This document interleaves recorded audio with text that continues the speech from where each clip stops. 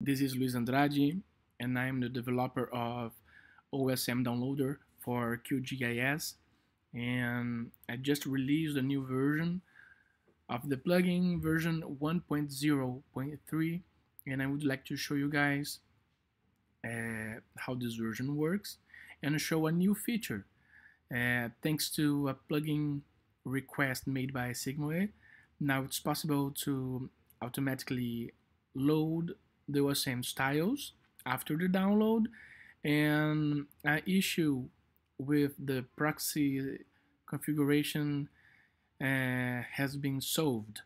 So I will show you guys how the plugin is working now.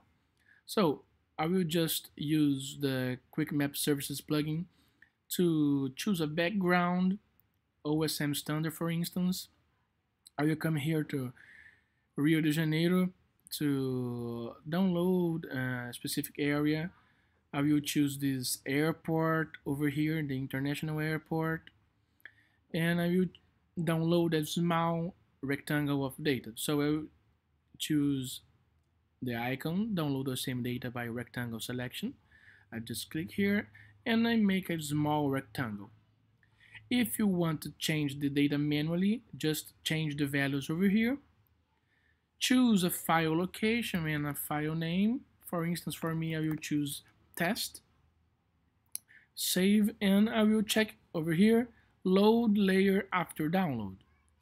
Now, it's possible to uh, download the data automatically with the styles, OSM styles.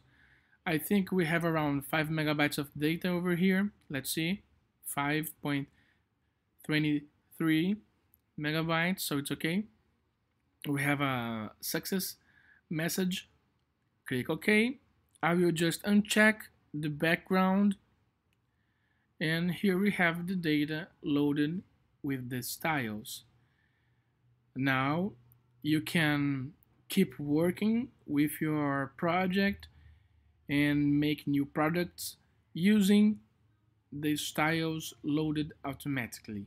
So that's it, that's it guys. Thank you and I see you guys later. Bye bye.